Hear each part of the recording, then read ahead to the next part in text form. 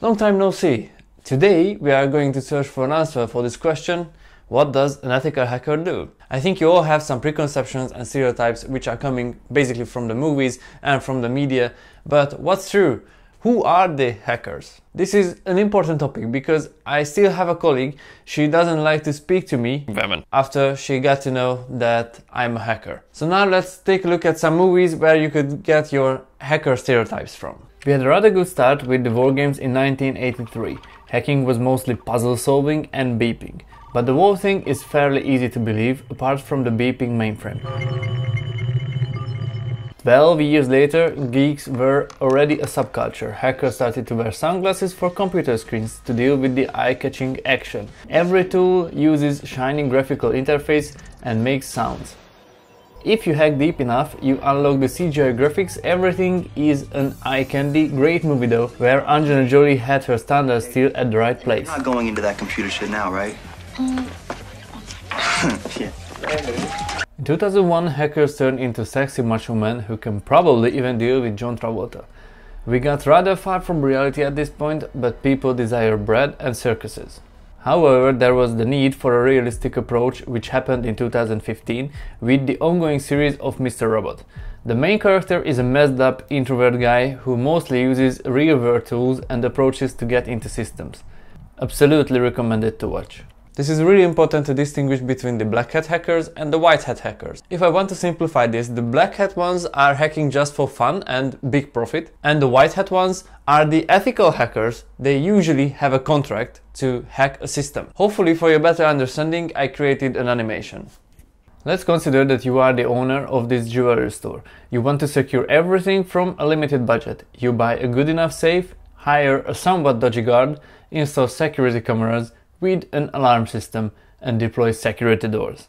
The business is performing way better than expected, so you make the bold move to get the biggest diamond on planet Earth into your store, which attracts a lot of attention from all over the world. One day though, after everyone left the store, you get alerted that the diamond is missing. How is it even possible? So here's what happened. The diamond attracted the top-notch criminals. They remotely accessed the alarm system, which was on the same network as the cameras, so they could turn off your security systems. They knew that the security door installed has a design flaw which they can use to bypass the lock system with their special tool. Everything was open and disarmed within minutes. The rest is obvious. But what if you could have hired those robbers for a fraction of the money what the diamond worth and simulate the attack against your store? You would have learned all those issues without losing reputation and money. This is the reason why ethical hackers exist alongside with the black hat hackers. After we got to know that I'm an ethical hacker, the white hat one, you know, the question is, what am I doing for a living? So normally inside the company which provides penetration testing services, there are different kind of teams and roles. This is really good if you have some customers.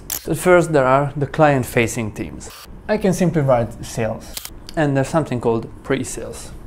If you know the technical aspects, you don't want to be in this team. Sometimes you need to be in this one. Not too often during pre-sales activities, a client may require the ethical hacker to show off his skills, but these activities are less preferred as demonstrated with the help of John.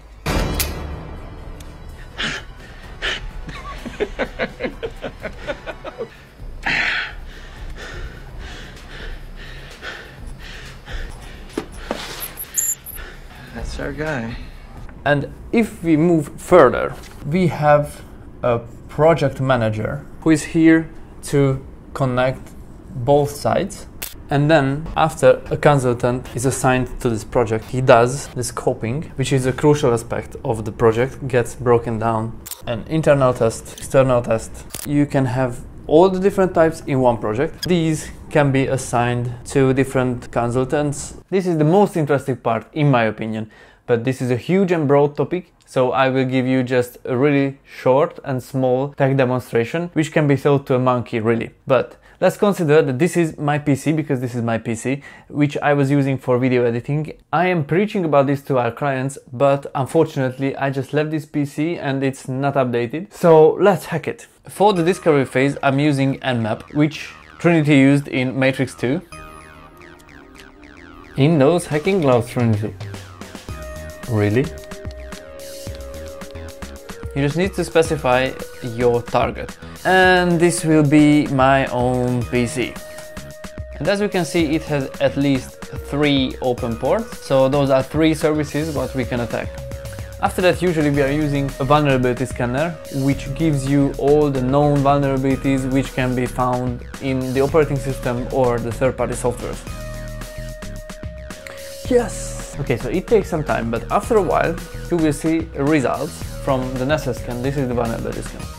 Here you can see that we have one critical and one medium issue, and all the others are informational. This is the MS17010 which came from the NSA leak. So the guys at the NSA, they used this vulnerability for a couple of years, I guess, and they could get in this easily, how I will show you, into any machine where they got access to this particular port. So now that we know our vulnerability, we just need to use the right tools. I'm using the Metasploit framework, which is a great help. Let's see how to use it. We need to use the specific module you can see all the options for this module. Now we need to use a payload. And if we have everything set, we can just try to exploit. And we have a win. So we have a Meterpreter shell. And as you can see, the user itself doesn't feel anything from this, so you can just open Windows, use, use your machine as you normally use. So what can you do now? we can just dump my own password.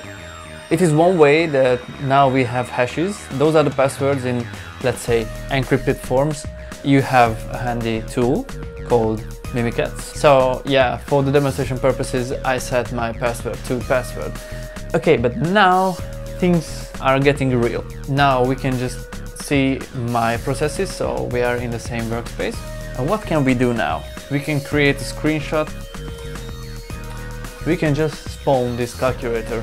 Of course, we are not going to leave it there, just like that. And we can let our user know that he's been hacked. That's it. Thank you very much. And what happens if they finish with the testing? You need to have a reporting team with the documentation templates and the work from the consultants. Here goes the report. If it's good, the whole project is good. Basically, this is how a project starts from a customer side, comes to the sales. There's a project manager. Of course, there are the consultants who are doing the scoping and doing the actual work itself, which can be on site or remotely.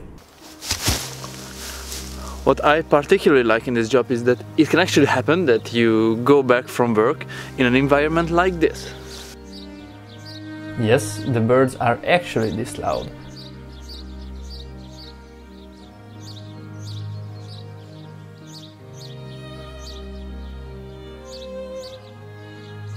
I'm not lying, it was this green in reality as well, not just the color grading. I'm about to set the one-handed drone flying bike riding record while not getting hit by a car. Apart from this, you can stay in a bed and breakfast in this lovely town where I have my good old friends the stairs. Stairs, a nice bathroom, and of course stairs again to the bathroom. I genuinely loved it. Just to be fair, I wouldn't say that it happens too often, but sometimes it's really good. Reporting and documentation team who are helping the consultants to generate a report which then goes to the customer and being discussed in the closing meetings. So before back in Hungary, my job was this piece here. I was a consultant. I did internal, external, web app, and other projects as well. This opportunity was kind of unique because now I have more roles. So what am I doing now? I'm on the pre-sales side, the project manager, consultant. I am doing the scoping, documentation, writing the report, going to the meetings. I started everything from the ground zero. I'm building this team and we are reaching to the moon. I really hope that you enjoyed this episode as well and possibly learned something from it. But one thing is for sure, this is the end. But before you leave, of course, you can have a choice. Oh, wait, no. Now you don't have a choice. The next episode is going to be about some money practice solutions. It's related to money, so hopefully you will like it. These are just some practical methods what I tend to use during my everyday life, and I thought I will share it to you because maybe it can make your life easier. See you in the next one.